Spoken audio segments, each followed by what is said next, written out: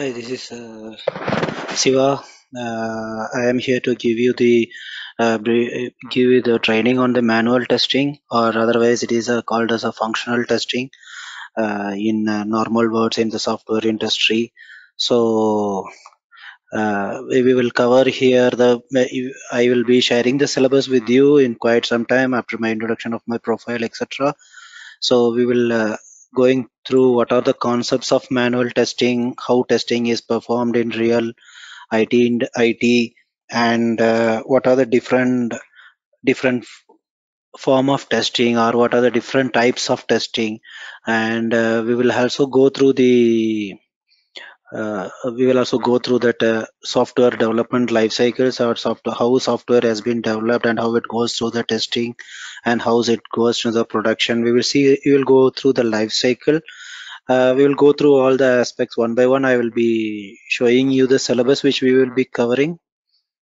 So first let me introduce myself. My name is uh, Siva Chidambaram. Uh, Natarajan. I am uh, associated test manager or a test architect and I'm working as a test architect as well as I have uh, 12 plus years of experience uh, in software testing um, both manual and I worked in automation as well. So currently I'm working with the CGI. Uh, so I am one responsible for one of the product delivery in CGI and uh, there are some eight to eight people working under me. So I have a vast experience in manual testing and I have worked uh, in the estimations and etc. Uh, when a new project comes or for a maintenance, I worked in estimations, I worked in QA activities, and I work as a test architect also for automation projects. So this is about myself.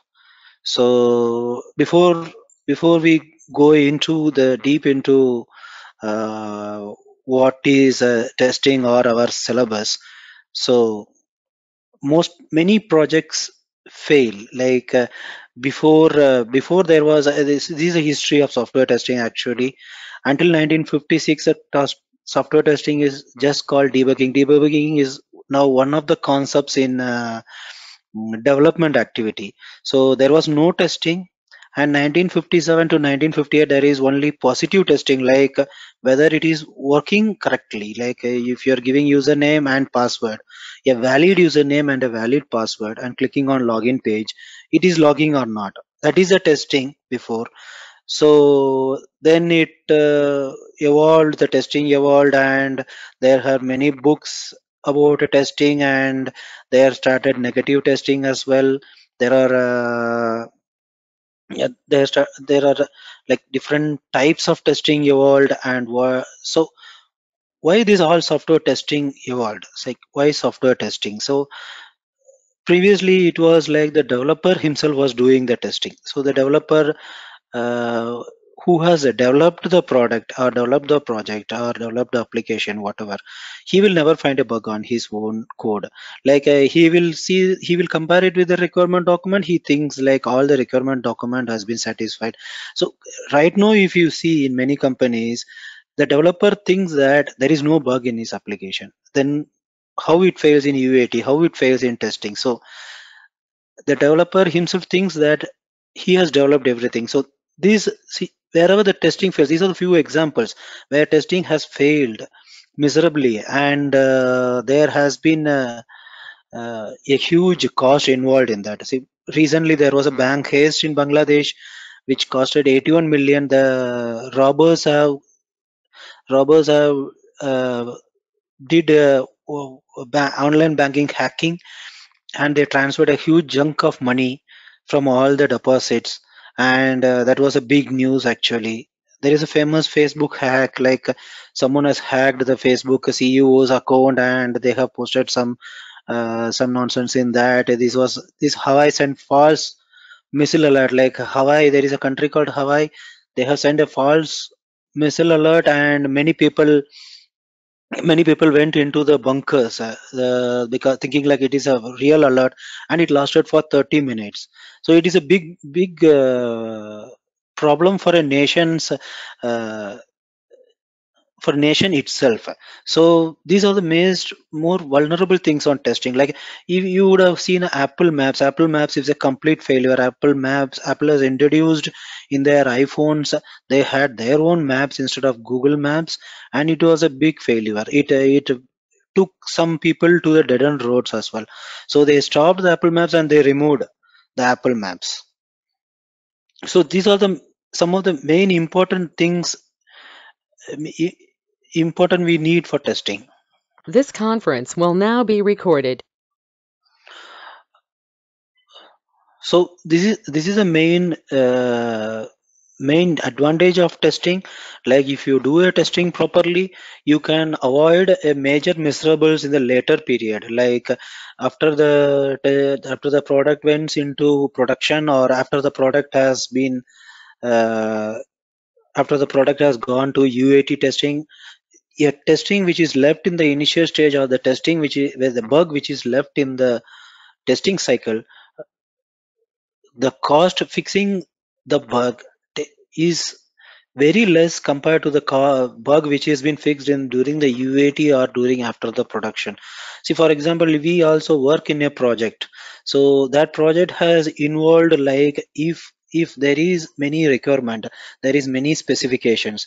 So any one of the specification is missed out or it has been implemented wrongly, there is a huge fine involved in that so our company or our project pays that huge fine one every now and then because if we miss anything so there are more more fine or more cost or more human resources involved if a bug is being missed out and it has been found in uat or in a production which will cost more than which when when it is caught in during the testing cycle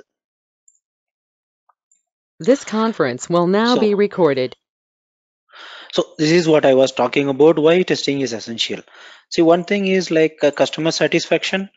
A customer will be satisfied if the testing has been done in a proper way and there are no bugs. You will get a repeated business. If a customer is satisfied with the product, which is a bug-free product, you will get the repeated business, and uh, that will help your organization or your project to grow. And which I talked earlier, like it saves lot of money. A testing a bug which is found at the testing phase or the initial phase.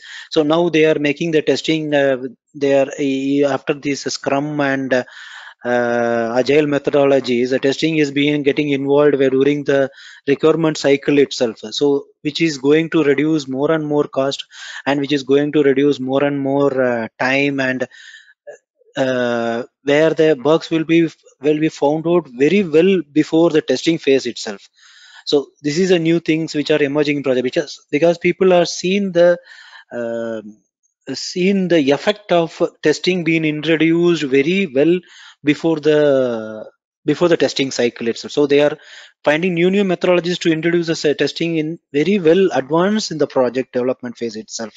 So which will save money and uh, security is very vulnerable in many cases like uh, if we are working in a very secured projects like a banking application or something if security is compromised that will cost a lot of money which is uh, and of course quality. Quality is the main motive of any testing. So so uh, here I have given an example as well. Like uh, it is somewhere connected to a performance testing or which can be done through manual testing as well. See for example you have a mobile app. You are installing the mobile app. First of all when your installation itself takes more time.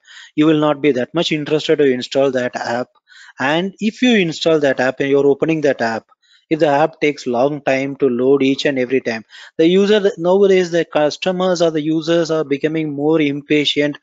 Uh, there are more capacity rams 4g 5g so customers are becoming more impatient. So they don't want to wait. So each time when they are clicking the app if the app is taking long time to load itself obviously he will uninstall in one or two days.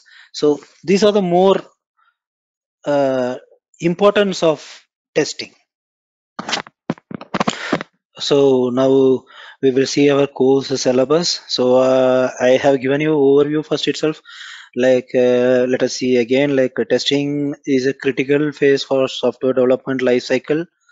Uh, so manual testing is a process like you document the test cases like uh, requirements. In other words it is called you can take any format like excel or word or whichever you like. Uh, mostly most commonly used test cases document or excel. And uh, and many companies use words word document as well. So it is a defects. Main purpose of manual testing is defects are identified and it is isolated and it is raised and it is fixed and it's the main purpose of manual testing is a defect free software to the customer. Uh, so so however it requires a necessary knowledge. So we have to know the different types of testing. There are different types of testing involved and and let me say before that something like uh, there is something people say like manual testing will not uh, last long. Automation testing is the next future. Now even they are saying that automation testing is also in not the next future like uh, after the introduction of artificial intelligence etc so let me make it one thing clear too with my experience and i am i myself is doing some uh, some work on artificial intelligence and how it is going to affect testing etc machine learning etc so let me say one thing. Manual testing is the one. Even automation testing can go off and introductions of previously it was qtp now it was selenium. There are many tools evolving. Now it is bdd cucumber etc so uh, the thing is like whatever even automation testing there will be changes or that is also not going to vanish. There will be changes and you should be upgraded with new technology. Manual testing can be never eliminated or can be never stopped from a uh, from any organization or for any project if it is a critical project. See, for example manual testing mainly involves in the domain knowledge. See, for example automation testing takes lot of time lot of effort lot of planning framework etc etc so for example there is a release today uh, uh, i mean there is there is a new requirement today. There is a new requirement project. So the development the srs and everything is finalized. The people will start doing the development activity. When the people is doing the development activity of an application they are developing the application. So for automation testing the application should be present. So without the application you cannot automate. They say like you can automate everything. No we cannot automate 100% or in a better way so automation application is required. So once the developer is developing the application now after this agile the development is happening in phases like developer one will develop one module developer two will develop different module etc etc will happen. So so the development is also fast not like before like the development is very like phase by phase it goes. No development is very fast. So the application will be ready fast. So model 1 is be ready maybe model 2 is not ready model 3 is ready. You cannot automate it you cannot if you start the automation immediately also you cannot complete in that fast. It will take lot of time and effort. So in that case only manual testing. So automation always happens minus one or minus two. What i mean is like release this release is release number 10 autom you can automate a application of mine 9 or release 8 which itself will take lot of time so it cannot be automated for 10 so for the 10th release only manual testing will help to release the project so and once the module one is ready, the manual tester knows, the manual testing knows, and he will start the testing very fast. And he will at least he will start writing the test cases, and he will plan for the testing. And uh, when the full module is ready, he can start the uh, start the manual testing, or uh, he can start the testing and raise the issues. So only manual testing is on the correct current testing. Like for this release, immediately you have to start a uh, manual testing. So automation testing is mainly used for regression. I am not saying like we should not learn automation testing, but you cannot say like manual testing can be avoidable. Manual testing can never be avoidable. You have to do manual testing and automation testing is mainly used for regression. Regression purpose like from 1 to 9 all the uh, releases has happened in a better way. For doing that you can do a regression testing usual using automation testing. But most important thing is manual testing for the current release. So so this i wanted to say you like uh, and a manual tester with the domain knowledge to my in my experience i'm saying can never be avoided in a company and never can be uh, never can be omitted from a testing uh, from- omitted from the project. So main the main uh, strength of a manual tester is he should have a sufficient domain knowledge and or he should develop the domain knowledge so that he can survive in the software industry. So so our course objective will be this. What is testing? What is a software development model? I will give you a small introduction like how the software development model how it got evolved from waterfall method to the agile methodology now the software development model. Then uh, there will be futures of software development method and here our course will start. Major concepts of testing and uh, what will be the different approaches for testing and uh, what is the concept of testing is like uh, what is black box testing white box testing approaches of testing and types of testing will be smoke testing exploratory testing which we will go through uh, in the coming coming uh, presentation. Then and how to create a test plan i can see i can show you a real-time test plan how it's been created. And you can also try to create your own test plan for small projects like maybe flipkart or gmail. You can create a test plan and try it and how to execute the test plan and how to manage a defect. There are different types of defect uh, new open uh, fixed closed etc etc so what are the different types of defects and how to manage test cases? Then and how to do the bug tracking system. Yes that again talks about defects. This talks about test cases and how defect profiles and this like how bug has been tracked in real time and uh, and i can show you a sample test end report or how the testing is reported. And there are many now like uh, tools has come like uh, qc that uh, uh, Q, qtp has a qc where you can track the test report or you can keep the test report. There itself you can give the closure document as well. So the prerequisites or target audience are like you have to have a basic knowledge of computer for knowing the testing. Uh, it is better to have an internet connection or you have to have an internet connection. And uh, it is mainly focused for the beginners who want to start their career in software testing field. So if you are already a tester you can refresh your testing uh, techniques basics etc and if you are a fresher you have uh, just passed out from the college and you are looking forward for a, a career in testing then uh, this this training will be quite uh, useful for you This conference will now be recorded. so and if you are uh, if you want to have if you're interested for a career in it and if you hate programming or you don't want to go into programming and you find difficult to go into programming you can concentrate on manual testing which will which will very easily give you a opportunity to go into the it industry. And uh, if you're working in some other field or if you're working and you want to come into it if you're working as a lecturer or something i have many friends and uh, colleagues who has worked on lecturers and they have come into uh, they want to come into IT and uh, they have chosen testing because it is bit easier than the other development or other activities to start your IT career. And if from testing also, if you wanted to move into development, you can learn something. Uh, once you once you once you come into an IT field, you can move around, and it's a good career opportunity to start with. So here we will see like module one, we will see like software testing introduction. So here we will cover like what is testing, what is importance of testing, what will be the roles and responsibilities of a tester, and uh, principles of software testing, and uh, how much testing we have to do, and the difference between manual and automation testing, which I have given a little bit introduction of what is the difference between manual and automation testing. We will we will speak about it a little bit more. Then module tool we will cover about software development lifecycle and what are the different types of software? Uh, SDLC they call it as different types of software development lifecycle.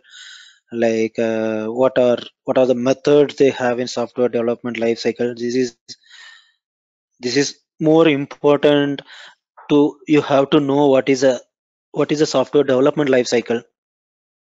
And we'll cover like what are the module 3 We'll cover like software testing methodologies.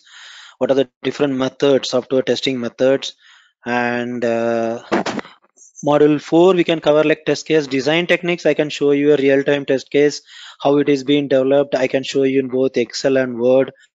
And uh, and we can we can discuss about what are these informal reviews walkthroughs and everything. And uh, this this we won't be covering anything detail this is just for your uh, understanding what are the diamond statement coverage. These are basically comes into white box testing. We can just go through what is this testing. It is good to know like what what is this testing called like uh, how is this be testing be done? This is most of the companies and big companies been mostly done by and maybe in small companies as well mostly done by developers. It comes into white box testing because uh, how they do is they do through code reviews.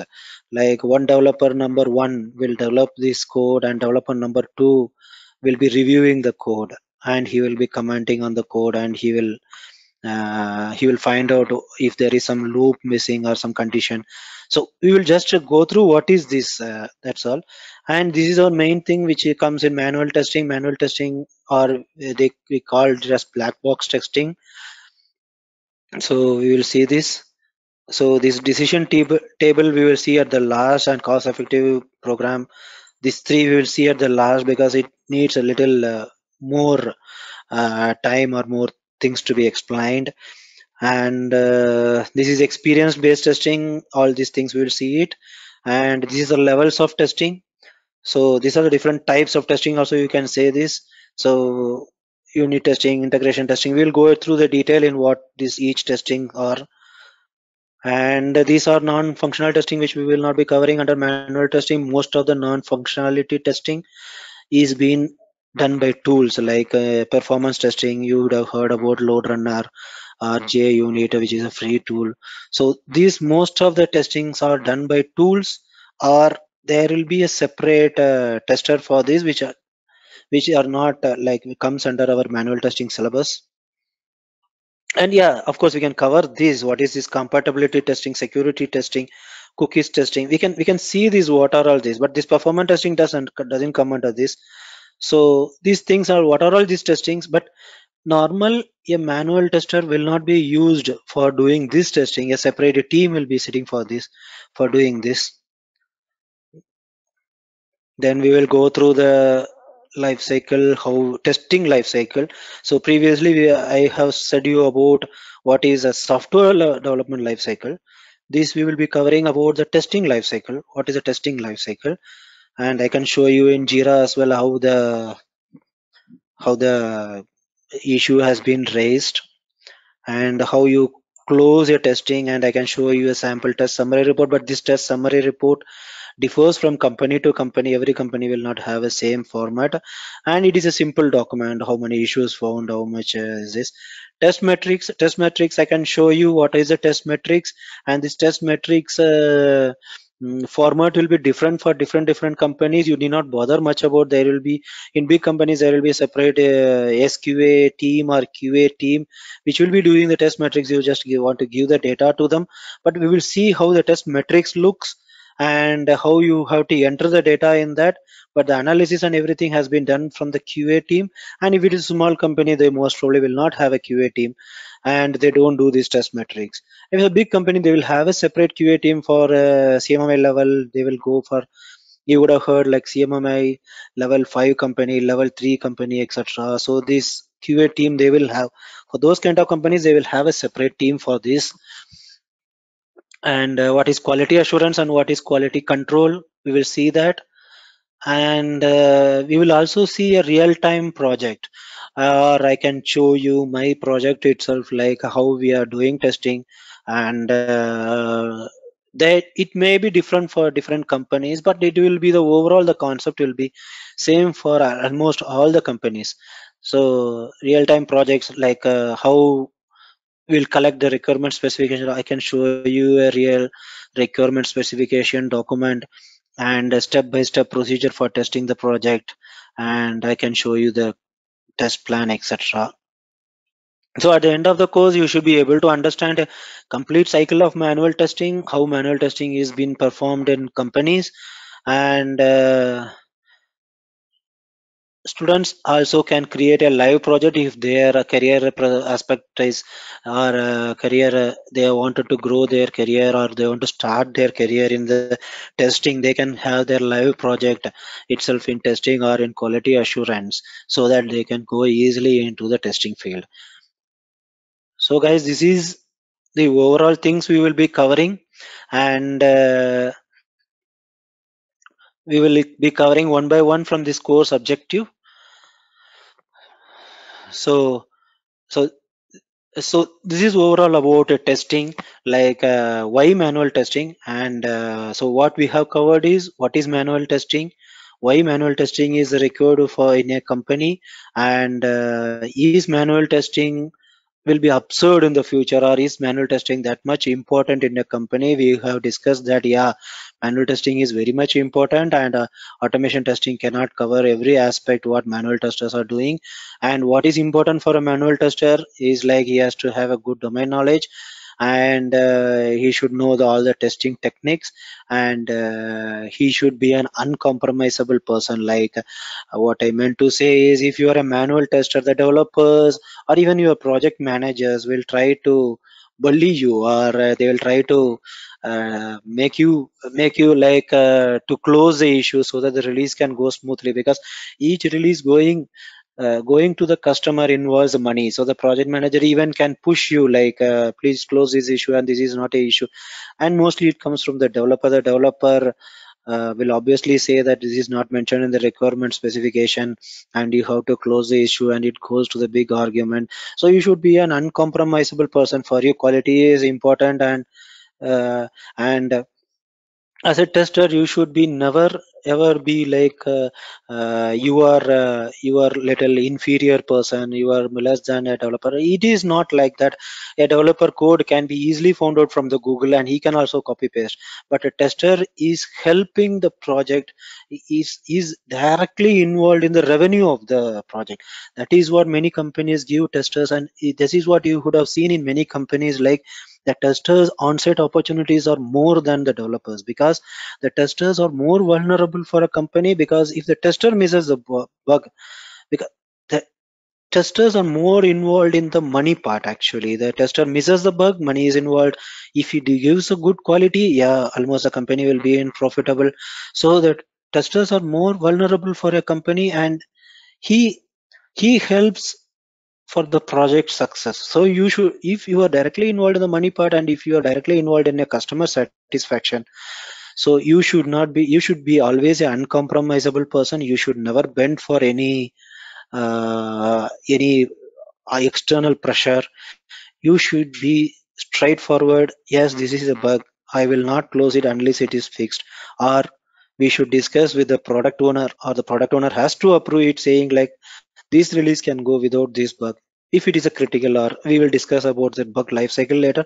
If it is a critical or if the severity is more.